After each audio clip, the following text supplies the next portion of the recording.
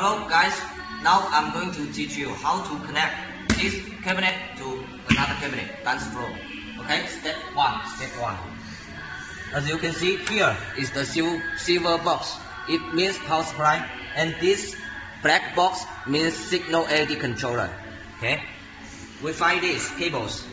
This is male cables and this is the female cables. Black, connected black. And lock it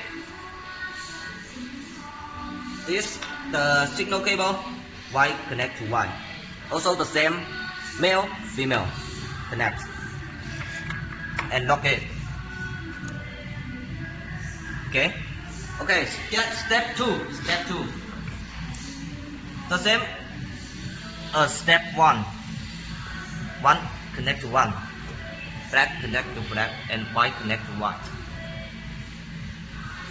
Connect. Lock. Okay, now step three, final step.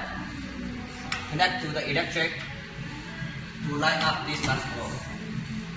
And LED controller connect to the electric. Okay?